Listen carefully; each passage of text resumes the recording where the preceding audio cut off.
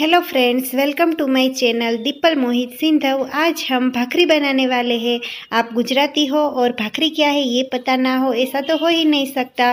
गुजरात में भाखरी नॉर्मली सुबह में ब्रेकफास्ट में और शाम को हम लोग खाने में भाखरी और साग बनाते हैं। भाखरी का मेज़रमेंट आप इस तरह से कर सकते हैं। ये देखिए, यहाँ पर मैंने चार आप अपनी मुट्ठी होती है, उसमें आप भर भर के आप इसका मेज़रमेंट कर सकते हैं। यहाँ पर मैंने चार भाखरी बन सकती है, उतना आटा लिया है।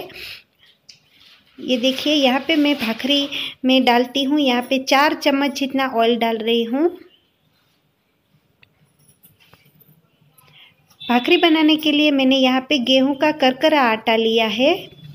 जो आप उसका नॉर्मली रोटी जैसा आटा लेंगे तो वो बहुत ज़्यादा सॉफ्ट और अच्छी नहीं बनेगी। तो यहाँ पे आप करकरा आटा ले तो वो बहुत ज़्यादा टेस्टी बनेगी। और यहाँ पे मैंने यहाँ पे एक छोटा चम्मच जितना नमक डाल रही हूँ। उसके बाद हम लोग यहाँ पे बाजू के गैस में मैंने पानी गर्म करने के लिए रखा है। अगर आप चाहें तो नॉर्मली पानी भी यूज़ कर सकते हैं, लेकिन यहाँ पे गर्म पानी हो तो भाखरी बहुत ज़्यादा टेस्टी बनती है तो मैं गर्म पानी यूज़ कर रही हूँ।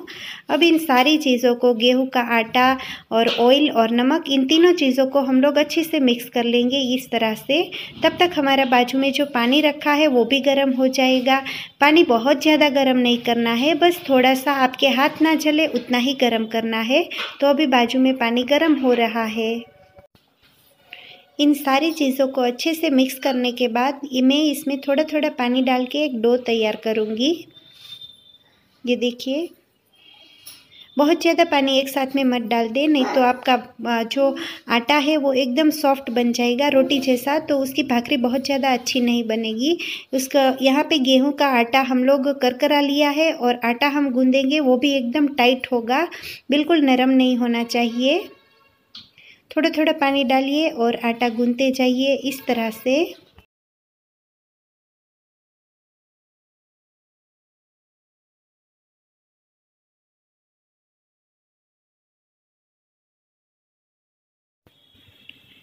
यहाँ पे मुझे और थोड़े से पानी की ज़रूरत है तो मैं इसमें और थोड़ा सा पानी डाल रही हूँ।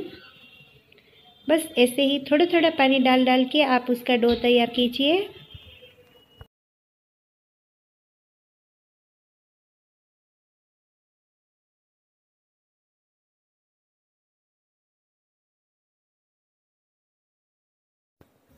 यहाँ पे मुझे और थोड़े से पानी की ज़रूरत लग रही है तो बस मैं अपने हथेली में थोड़ा सा पानी डाल के उस पर से स्प्रिंकल करके मैं उसको पूरा आटा ऐसे गूंद लूँगी।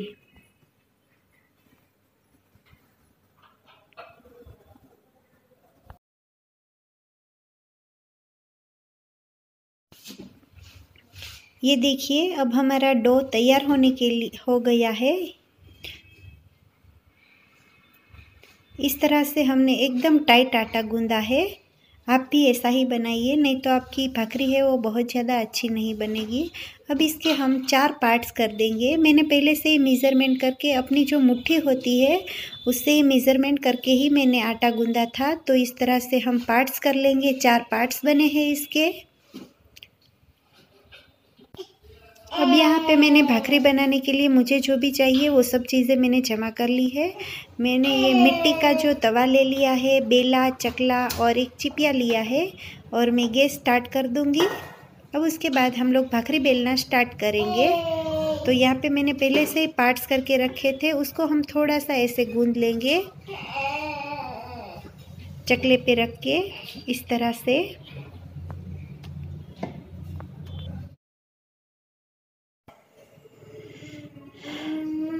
ये देखिए, अब मैं बेलना स्टार्ट कर रही हूँ।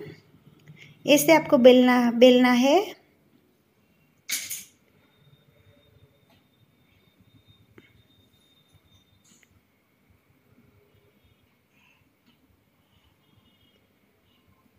सब तरह से एकदम अच्छी होनी चाहिए। ऐसा कुछ भी नहीं है कि आप किनारों पर पतली रखो या बीच में पतली रखो, ऐसा कुछ भी नहीं है। आप अच्छे से इस तरह से ही बेल सकते हैं इसको भाखरी को। ये देखिए, अब मेरी भाखरी बन गई है, अब मैं इस बेलन है, उसका जो पिछला पार्ट है, उससे इस तरह से उसमें थोड़ा थोड़ा उसको प्रेस कर दूँगी ताकि हमारी भाखरी फूले ना। फूली हुई भाखरी बहुत ज़्यादा अच्छी नहीं लगती है तो मैं इसको ऐसे प्रेस कर देती हूँ। यहाँ पे तवा गरम हो गया है तो मैंने भाखरी डाल दी है उस पर और यहाँ पे मैंने दूसरी भाखरी बनाना स्टार्ट कर रही हूँ। तब तक हमें वो जो तवा गरम था, उस पर एक साइड से भाखरी थोड़ी थोड़ी सेकने लगेगी। बहुत ज़्यादा एक ही बार में नहीं सेक देनी है, बस थोड़ा सा सेक जाए उसके बाद हम उसकी साइड पलट लेंगे।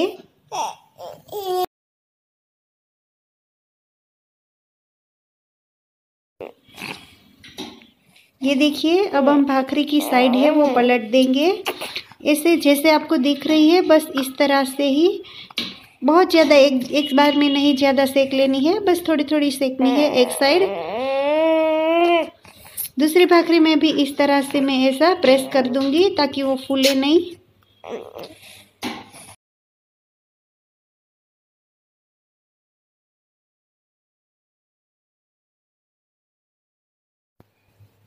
यहाँ पे मैं थोड़ा सा कैमरा एडजस्ट कर रही हूँ ताकि आपको अच्छे से दिख पाए।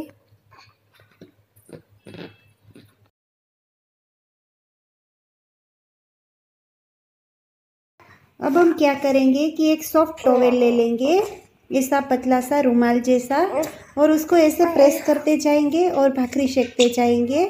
तो ये हर तरफ़ से अच्छे से सेक जाएगी, वरना वो किनारों पे थोड़ी सी कच्ची रह जाएगी। ये देखिए ऐसे पलट पलट के आप उसको अच्छे से जहाँ पे आपको कच्ची लगे, वहाँ पे इस तरह से आप उसको थोड़ा सा प्रेस कर दे रुमाल से।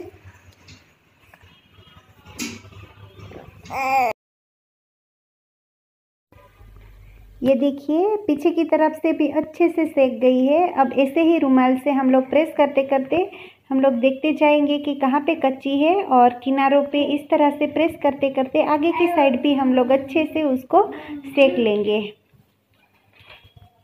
ये देखिए ऐसे